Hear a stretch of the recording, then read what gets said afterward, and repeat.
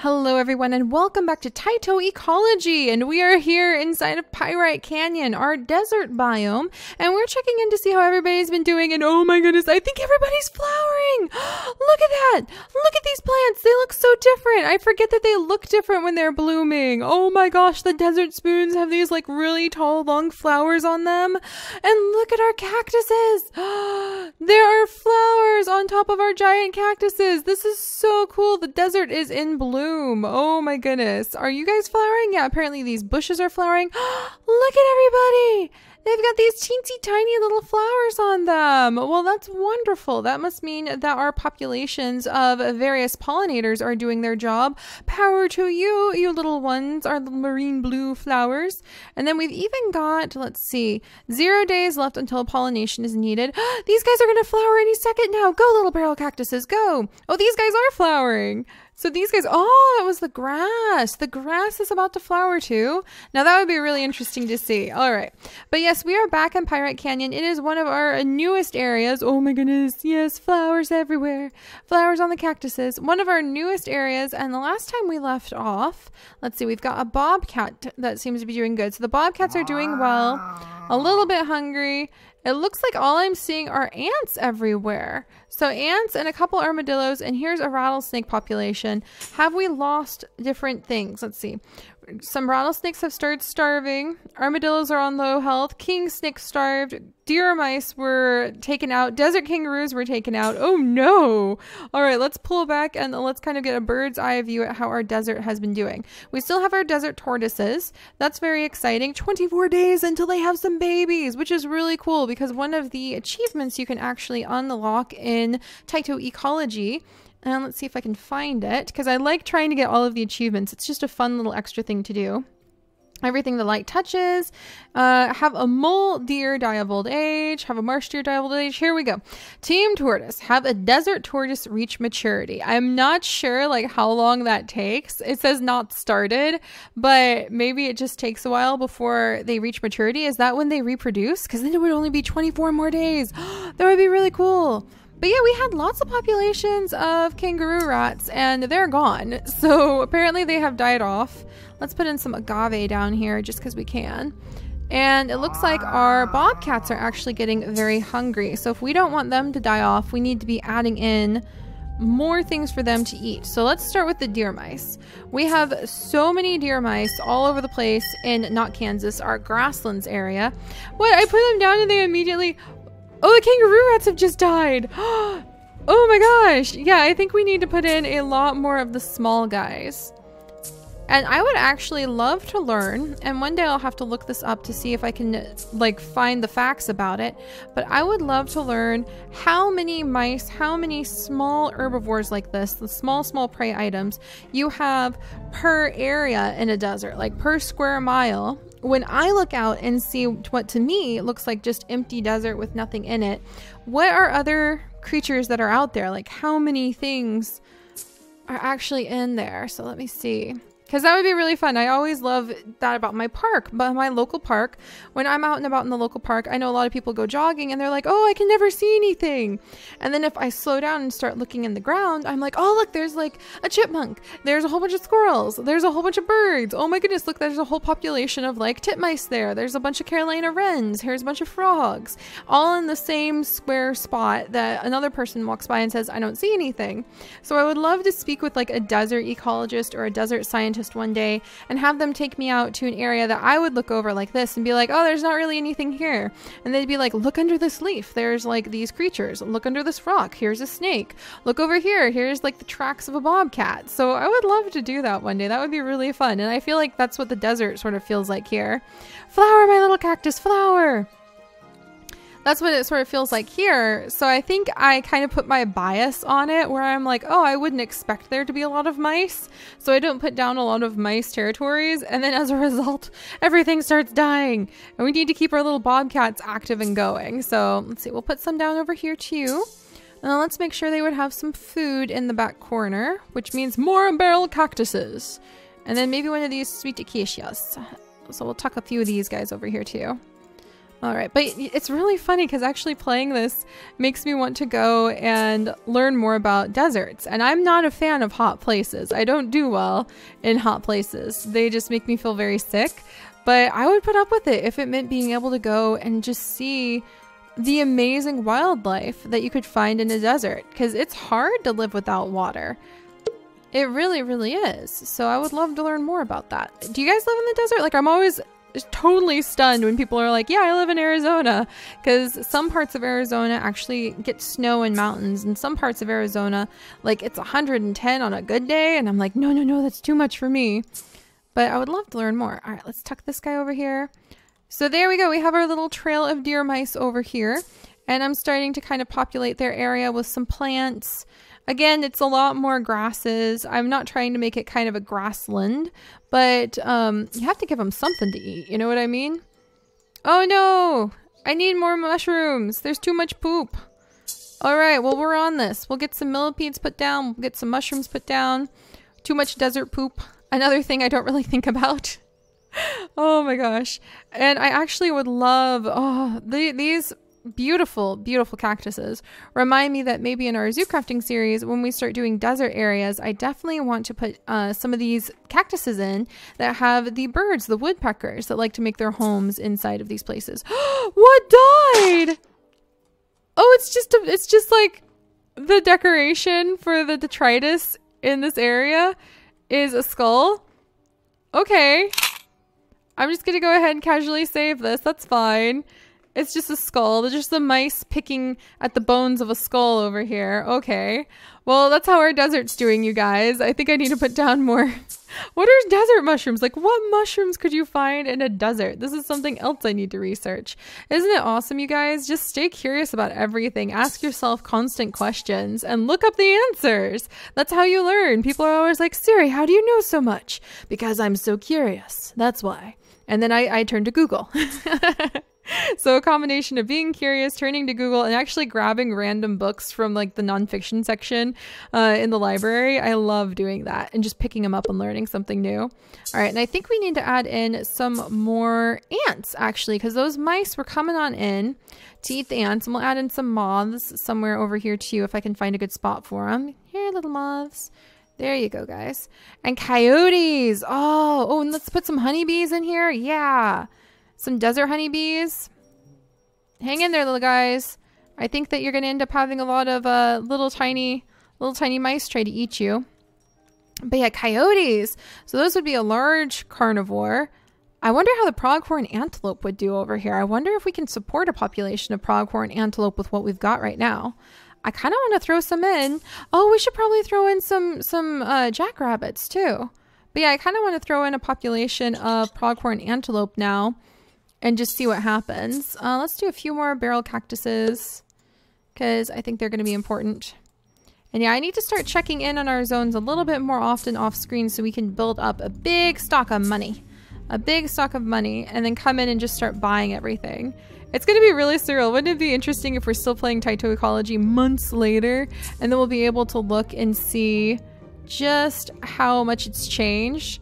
That would be so cool. How long, what's the longest you guys, because so many of you have said that like you saved up and you got it, you saw me play it and you're like, oh, I have to try that out. What's the longest you've had one of your areas? I really want to know. Like, what's the longest you've had a spot survive? All right, let's come over. I want to put more of these big giant guys in because they're awesome. If I can find a spot to put them down, then he's going down. All right, in you go, cactus. And there's so many cactus species too, which always, again, it surprises me. I don't know much about deserts because my natural inclination is to go where the ferns, and the humidity, and the greenery is. So I tend to study those places a bit more. But I mean, desert ecology and like a lot of the savanna ecology in Africa are really fascinating to me because they're those are populations where they're having to push and struggle and fight to survive in extreme environments and you get some really interesting results when those things happen. All right, and I think maybe we could add in some more little um, herbivores down here. Who's this? I thought I saw somebody over here. Oh, it was a mushroom. I think it was just a mushroom, like plunking itself down. Let's put in another one of the cactuses up here. And how are we doing? We still have too much poop. Is it your fault, Mr. Tortoise? Are you pooping too much? I don't appreciate that silliness. Desert mushrooms. I'm gonna have to figure that out. All right, there we go. And yes, I, I just think mushrooms are fascinating. They've just always fascinated me. Oh, we don't have like anything over here. And I wonder if the grass has been spreading on its own again. I feel like it might be. I feel like it might be. All right, well, let's add in some plants on this side. Because if I'm going to even begin to think about adding in some of the pronghorn antelope, we need to make sure they have plenty of the things they want to eat. Like last time, we added in a small herd of pronghorn antelope into not Kansas, our grasslands biome. And I am completely amazed. I cannot wait to have so many of those guys all over the place. Are you okay over there, kangaroo rats? All right, they're okay. But yeah, I can't wait to have so many of those guys all over the place, but we definitely need to have enough grass for them to eat. And if I want to be able to add in um, the coyotes, we need to make sure we have a healthy pronghorn antelope population. That big, beautiful cascade of the pyramid again, the big, beautiful pyramid of food, which is so cool. And it's been so fun to see how many of you guys are like, Seri, I was just learning about that in school. So that's so cool. Let me know what you guys have learned. Like, refresh me because what you guys are learning in your classes right now is totally different from what I was being taught when I was in your grade. And the things that I learned, like when I re- do current research on current biology and current ecology topics, the stuff that's coming out now is a hundred percent sometimes different. Like the wolf thing, like the fact that there are no um, alphas and betas among wolves. That was not what I learned in my first biology class like six years ago in university level. And now that's been thrown out the window, and we have a whole new, like, gigantic chunk of research to redefine how we understand wolf packs. So things change pretty quickly, and I love hearing what you guys are being taught as proper science in your classes now. Sometimes it makes me go, no, that's not right, and it makes me really sad. No, they're getting sick? What? Millipedes! Millipede faster! Quick, I need more! I need more millipedes! What on earth? Go, go, go, go, go! I guess I can add in, I guess with this many like millipedes and mushrooms, I can add in more, um, oh gosh. I can add in more insectivores, maybe? Alright, I'm just gonna, we're gonna millipede all over the place, because apparently they're able to clean these up. What does the millipede biodex say? Millipedes eat detritus, which is ecological waste matter like dead skin, dead leaves, and other materials that are not directly useful to plants or animals. Millipedes help to break down detritus so that the nutrients can be used by plants, which helps them grow. Though, though bacteria and fungus also play a role in decomposition, millipedes do lend a hand, or several hundred, because they have all their little hands. Oh, that's so cool. Many insectivores consider millipedes to be a tasty treat. Armadillos, turtles, small rodents, and birds are all millipede predators. Oh, it'd be really cool if we could add in birds. That would be awesome. Most millipedes try to protect themselves by curling into a ball or coil. Their backs are much tougher than their undersides, so this tactic works well against smaller predators. Larger predators with sharp beaks or teeth, however, are able to easily crunch the millipede's body and make it into a tasty snack. Dun dun dun! They're very common insects. In fact, there's like the cherry millipede, I think is what it's called. It's all over the place right here where we live in North Carolina right now. I might do like a specimen spotlight on it, even though that sounds kind of boring, but they're very essential. They're crawling around on the ground with all of their itty bitty little legs, cleaning up all of the waste matter and keeping the forest healthy. So it's worth doing a little specimen spotlight on them for sure. They can be found everywhere on Earth except for the poles. There are even some millipedes that can survive in the Arctic Circle. What? What? Now I want to learn about desert mushrooms and Arctic millipedes. Oh my gosh, that's so cool. The word millipede means thousand feet in Latin. Millipedes don't actually have a thousand feet, but they do have a lot of them. There are over 12,000 species of millipede in the world, and millipedes are some of the oldest land animals. So that is interesting. All right, well, we'll learn about the reproduction in a minute. Look at the millipedes, magical millipedes. Dun, dun dun. They've come in and they've cleaned this area up. Oh, I'm so thankful for you, little millipedes. You have you have saved my land. Oh, look at them. They're so cute. They're so tiny. All right, so the millipedes have come in and saved the desert. And now I'm going to go ahead and because we added in so many millipedes, I'm going to put in some armadillos. so here we go. Now we're going to have some armadillos rolling around. Oh, dear. But the armadillos are an important um, important part of the whole system too. But armadillos are really hard to eat in my opinion because they're very well defended. Um, here, you go right there, little armadillo. How's this population doing? There's only one left. Okay, so it looks like we need to add in some armadillo populations anyway to help balance out whoever is eating all of them. All right, yay, we earned a little bit more money. I love how the more you add in and can keep alive, the more money you get to earn for it. All right, we'll add in some more ant populations. Whoops, did I just put it down there? All right, and we'll add in more millipede populations. Awesome. So there are desert millipedes. There's even Arctic millipedes. I've learned something new today. Thank you, Tyto Ecology. And then let's see for the armadillos. Let's get down here, find an armadillo. Those are mice. That's a mouse. This is possibly a dead mouse. Goodness. Uh, these are a lot of mice. Let's add in some snakes over to this side. Aha! And here we have a bobcat patrolling the edges and armadillos. All right, and what does it say about who eats them? Predators. Armadillos are an important prey item for many larger creatures, including cougars, eagles, wolves, bobcats, and jaguars. Baby armadillos are particularly vulnerable to predators. Their shells are much softer than the shells of adults, making them easier to attack and kill. To ward off predators, armadillos retreat into their burrows, block the entrance with their back, curl up, and brace themselves so that they are more difficult to remove. Yes, I remember this. And then we also learned that they jump into the air to try to scare predators sometimes. I'm going to have to like Google that on YouTube now. Jumping armadillo to see what it looks like because it sounds a little bit alarming to say the least. But we'll have to look that up. So the bobcats are still roaming around, hopefully doing okay. This beautiful desert willow is flowering right now, which is really cool. A group of deer mice has died. Oh no. How's this group doing? 14, 12. Okay, there's actually not so many deer mice right now. I think with the what? Kangaroo rats, why? Why are you dying? Why are you seeds? Seeds. They do not like to eat succulent plants like cacti or agave, but they will eat the leaves of plants like the bush. Okay, let's give them some of those bushes. Where's the bush? King snakes, low population. Oh gosh. Oh no. Sagebush, um, is that going to be good enough? Will that stand in for you? Oh, I think, oh no, the king snakes just died. Why? They needed more other snakes to eat. Oh, there it is. Here's the bush. All right, quick, get these bushes in here. Okay, I need to get these bushes. No, for crying out loud. I need more bushes. There we go. No, there. Wait, okay. Save the deer mice. Save the deer mice. We need more of these bushes. Maybe that's what was wrong. Maybe they were starving to death versus being overeaten because they didn't have the kinds of bushes that they eat. So that may have been a problem that I didn't even recognize. Gosh, our desert is really getting pretty populated.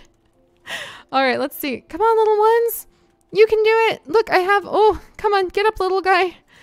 You can make it. He's dead. he can't make it. He's he's actually dead. Never mind. He's he's not gonna make it, you guys. He's dead. Oh dear. Okay. Well. Um. Oh my! They're dying. They're dying. Okay, and some of them are starting to make it. So that might be why our deer mice weren't doing very well. Are you guys not doing very well either? So they have some of those other bushes. So that's what, aha, see, they have just one of those bushes. Now I know you have to have these kinds of bushes to keep the deer mice happy.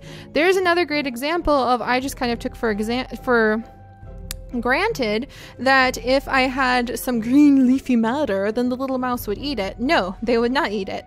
These mice will eat it because apparently they'll pretty much eat everything. What do the, the deer mice actually eat compared to the kangaroo rats? All right, let's see. They're omnivores. They eat fruits, nuts, leaves, and other greenery, as well as small insects, including my ants. They're very hard on my ant and my bee populations, it seems. But yeah, so those guys are fine, and meanwhile, my deer mice, not so fine. The, or my dear king, kangaroo mice, what on earth am I trying to say? Kangaroo rats were not fine because they won't just eat anything. They eat a very specific kind of thing. So that kind of goes to show that you can't fall into those biases with like, well, it's this kind of creature, it should eat this because sometimes they won't. Sometimes they'll only eat a very specific thing.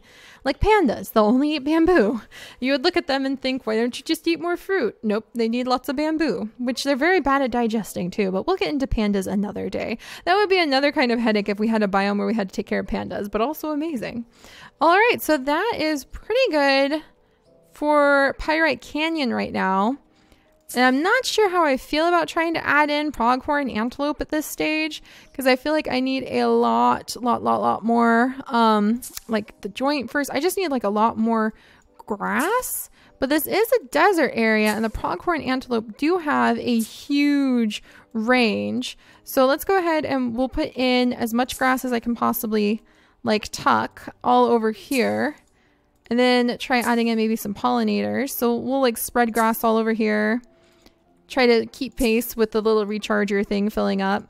And then after I do that, we'll leave in one population of pronghorn antelope and see what happens to that population when we come back after three more months passing here in Pyrite Canyon. So Pyrite Canyon seems to be doing okay. And I can't wait to add in some of like the big guys. And the pronghorn antelope are just so cute. All right, last one there. And then pronghorn antelope. Let's find where you're to go. Pronghorn antelope. There we go. And we'll just get like a little boost. wink. And we're to add in one population of pronghorn antelope right here. All right, and there we go. And we're to leave these little guys. They're to wander around. They're herbivores who eat grasses, leaves, shrubs, and other greenery. Sagebrush is one of their favorite foods. They'll, they'll eat just about anything green, including cactuses. So hopefully they'll do okay. And hopefully the deer rats will be able, or the deer rats? What? I cannot separate the deer mice and the kangaroo rats for some reason. But hopefully the kangaroo rats will be able to recover now that we have added in their new bushes. And we'll have to check in on them because this is this is really amazing, you guys. It's really amazing and it's so pretty. It really is. And there's so much death everywhere, so we'll have to see how the bobcats handle the populations that we've got going around. I wonder if the bobcats just prefer eating kangaroo rat. Hmm. All right, well, we'll check in with these guys later, and I hope everybody will be okay. I hope your guys' uh, biomes are doing well. Let me know how they're doing in the comments because I'm so curious. It actually is super inspiring to read what you've done and how you've done it, the fun moments. It's not about doing everything 100% correct, it's also just about embracing the experience and being able to learn from it. So let me know, like, yeah, I tried putting in like 800 ants and it just collapsed and it was kind of hilarious and this and this and this. Just let me know those kinds of things because I love hearing them. And I'll see you guys next time. Bye.